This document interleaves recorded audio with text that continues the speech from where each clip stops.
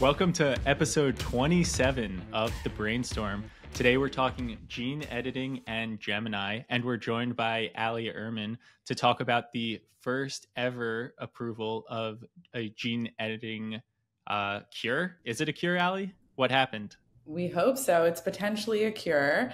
Um, so last Friday, the FDA, which you know is our governing body for for food, for drugs, um, etc., basically announced that the first ever gene editing approval was uh, given to CRISPR Therapeutics and Vertex Pharmaceuticals for a uh, medicine called Casgevy. Um, you may have heard us talking about Exa-cel in the past, so this is their their new name. Uh, this therapy is to treat people with sickle cell disease. Um, so, for anyone who doesn't know, sickle cell disease is a rare disease. It essentially inhibits your red blood cells. Um, they get like a sickle shape, which would look like a half moon shape. And as you can imagine, um, it's pretty difficult for those half moon shapes to travel around your body to deliver oxygen. And that's the problem that happens when people have sickle cell disease.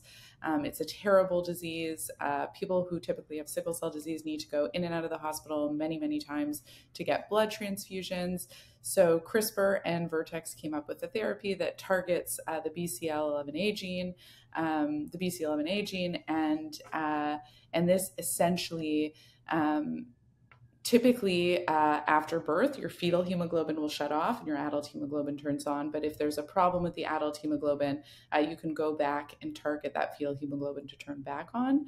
Um, and then it's a disease that impacts about 100,000 people in the US and 20 million people worldwide. So we think this is uh, pretty incredible and maybe worth it also to mention that Lyfgenia, a bluebird gene therapy, uh, was approved as well. Um, and the difference between the two is that um, which is a gene edit, um, actually alters the gene. Uh, gene editing can do a lot of things. It can modify, it can insert, uh, it can take away a gene. Uh, whereas typically for a gene therapy, they will add an extra copy of a gene, which is exactly what Bluebird does. Um, and just the difference between the two in terms of number of centers ready to go. Uh, has nine, Lyfgenia has 27. They target different genes, like I mentioned, Casgevy, BC11A, uh, beta globin. Um, also, price, which is pretty important, something uh, a lot of people are going to focus on. Casgevy 2.2 million, which is the CRISPR and Vertex drug. The Bluebird drug is 3.1 million.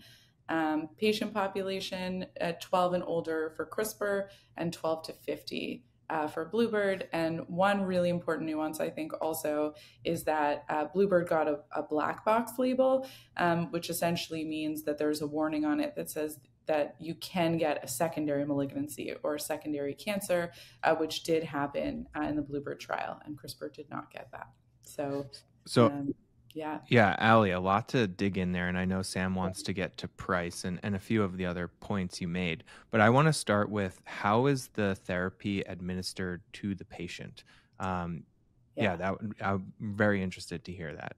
Yeah, so it sounds uh, it sounds like how do you edit a gene? Um, so the process is simple for the patient in essence, uh, just in the sense that the editing happens outside of the body. So mm-hmm. what happens is um, your cells are collected. Essentially, what typically happens is that a sickle cell disease patient would typically get a bone marrow transplant. And so if you're doing that, you would typically need to find someone who's a perfect match, uh, which could be like a sibling uh, maybe a parent, someone very close family, and that just isn't always available. And so, what then happens is that um, if you don't have um, a family member that can do it or go through the process, or you know, if you're just not able to do it in that way, this is another option. Um, and basically, what it means is you're your own donor. So they take your cells, they edit them in the lab, they gene edit them, whether it's you know the different strategies between the gene edit or the gene therapy. Um, I should mention that typically patients for sickle cell disease are on hydroxyurea, which is a symptom management medication. And so if you are on that, you do need to let that sort of get out of your system. And so that takes some time. The other thing that these patients typically do before is fertility preservation, uh, because this can affect fertility. Um, more the chemotherapy than the actual uh, drug administration. But uh, a lot of people will undergo fertility preservation, so that can definitely take some time. Uh, and then, yeah, as I mentioned, they'll extract the cells, um, your stem cells. They'll be sent to the lab. They'll do either process, the, the Bluebird process or the CRISPR process. Um, the patient would then get chemotherapy to allow room for those new cells to come in um, new space. And then those new cells are, are going to be reintroduced into the body. And so, what is the typical cost for, right? You mentioned 2.2 million.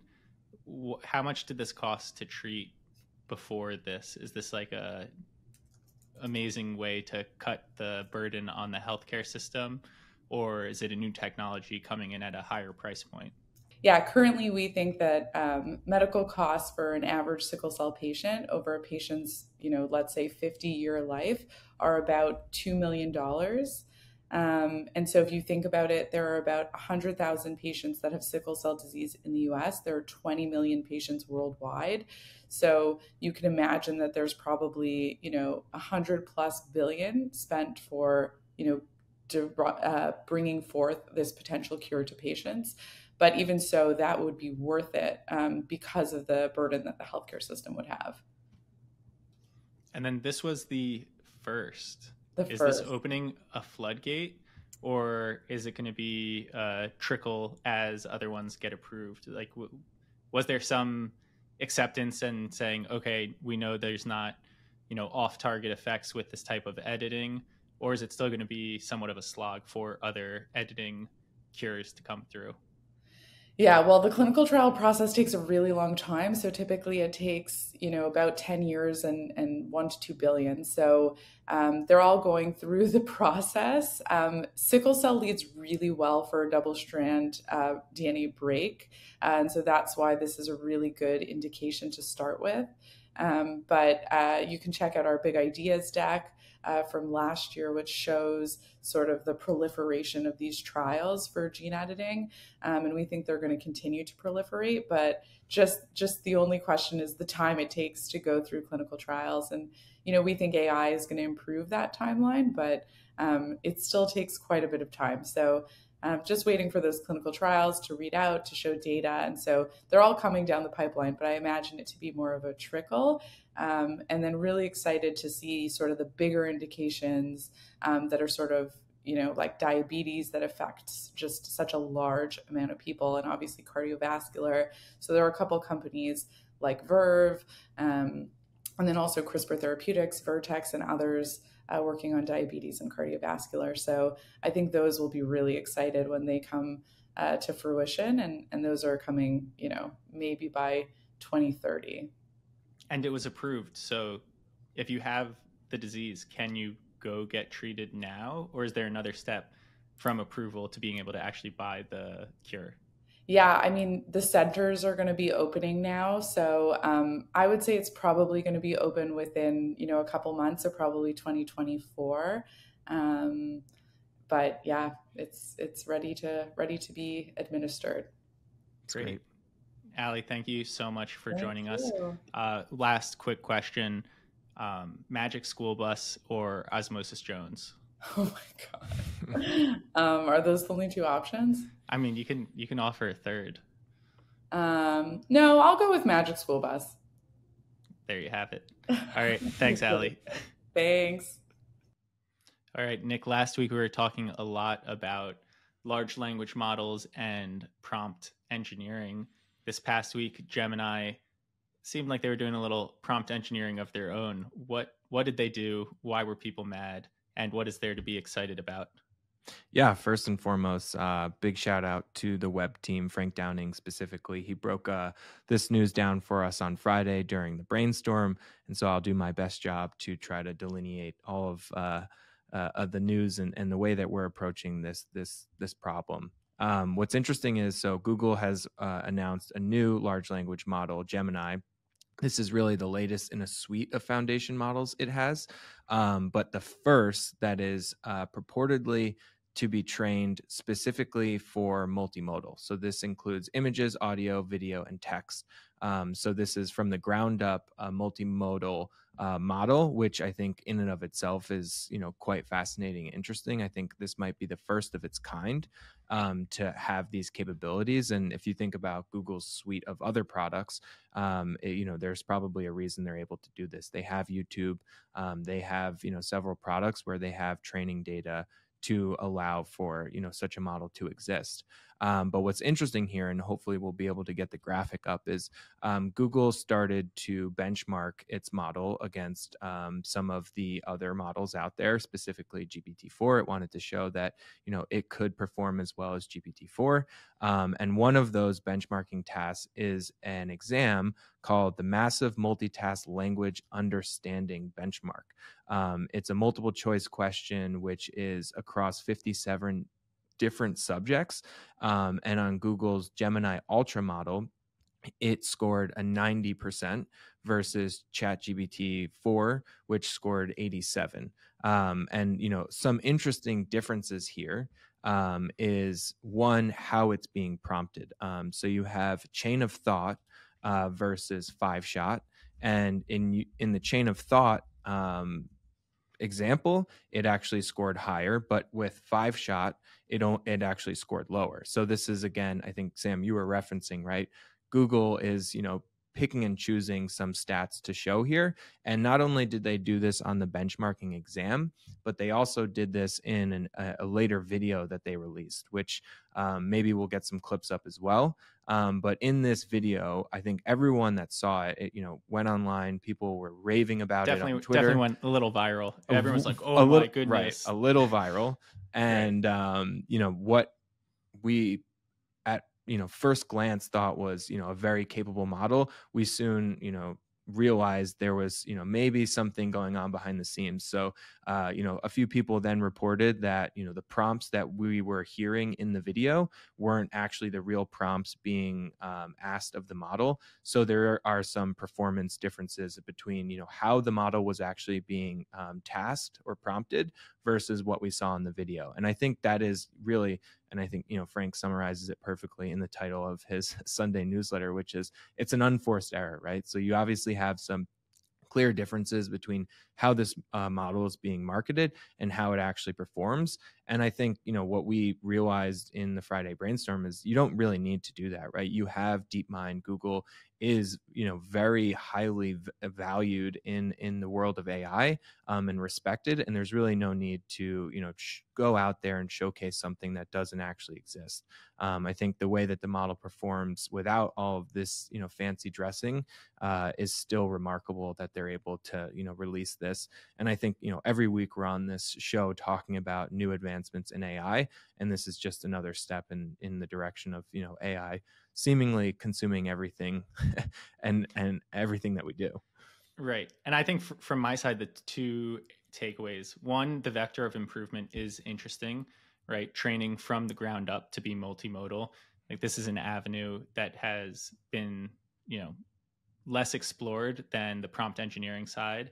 And then the other side of it is exactly what you're just saying there is the marketing versus ai and you know company culture matters and they have the talent but it seems as though it is difficult for these large companies um, to get out of their own way a little bit you know that's classic innovators dilemma so to me you know it's very exciting and hopefully you know google can come out and continue to build in a less flashy way and more substance because there's clearly some substance there that we should be tracking. Yeah, and I want to maybe spend some time here just talking about multimodal because I do think that is the future. You know, we've talked about and had some topics on this show around multimodal, but I think when you start to see advancements of this kind and companies approach it from the ground up, as you know, Google is now doing with Gemini, that really starts to excite me from at least the digital consumer angle because you know this is I think, what leads the way and, and paves the way to truly smart assistants um, living with us. And, you know, that's what we're interacting with. um, but you need it to be multimodal. And so I think it is, you know, fascinating to see Google. And again, I think it's because they have unique training data with YouTube and, and some of the other assets it has that they're able to do this. Um, but you know, I think we'll we'll see what you know continues uh, to to happen here. I'm sure OpenAI is going to come out with something. You know, it's just we're in an arms race right now, and so you know next week I'm sure we'll be talking about the you know the the latest foundation model. Right, Mistral. Mis- I mean, this is this is Monday. Right. There's other yeah, news coming out. Right. Yeah. Um, but it does. You know, the constant question that we are asking is: Is there any moat or is this a race to the bottom right. and um, you know they'll they'll be freely available and they'll have some different capabilities but they won't be able to accrue value to that layer. Yeah i think that's the big question right? Where does the value accrue in this in this stack? Is it at the foundation level? Is it at the platform level? Is it at the application level uh, beyond that, is it at you know maybe the hardware level? Are you know, uh, it's it's it's a, a question that I don't think we're we're ready to answer, but we're constantly toying with. I think we have ideas about where value is starting to accrue, but that doesn't necessarily mean that's where you know the the the value will be at, in ten years.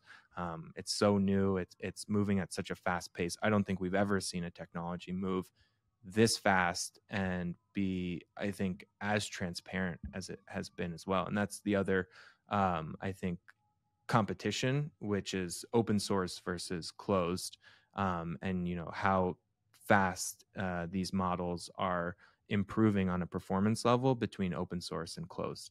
And you know that's another race happening parallel to everything else. Well that's maybe gets to this i'll i'll just ask you this last question update on your model usage. You know are you a chat gpt grok anthropic? Where where is most of your time being spent? I am right now spending most of my time in chat gpt i just got access to grok i, I believe you also did. Uh, i think it's you know interesting. I don't um I, I i just have the chat gpt app on my phone so it's just a lot easier and i've i've just been used to prompting that versus Grok, I think you have to be a bit more specific because of the I guess the angle that they took with it, right? You know, it's a bit snarky, um, to say the least. So you kind of have to work around that if you want a, a did it did it give answer. you a good roast? It did. It did roast me. Maybe that's why I, I may just you know be holding a grudge against it because it was it was quite mean to me. No, that's I just I've been used to ChatGPT, so that's what I've been using. And I I'd agree. I think most of my I did just get access to Grok as you said, so testing it out, but largely using ChatGPT for editing purposes. Um, and DALL-E, DALL-E's great. Uh, I mean, I know Meta came out with their recent tool, but for me, still still using DALL-E a fair. Well, yeah, I, I rope DALL-E into my ChatGPT use yeah. because I can, you know, ask ChatGPT to prompt DALL-E. Um, and I I was actually playing around with Grok this morning and it was interesting to get summaries of events happening on Twitter. I think it's actually quite good at. And if you think of Twitter as a real-time news engine, I think there is, you know, a real use case for that type of prompting and, and that type of summarization. Um, you know, it's pulling off of live tweets, and so its ability to uh, fill me in on something that I may have missed.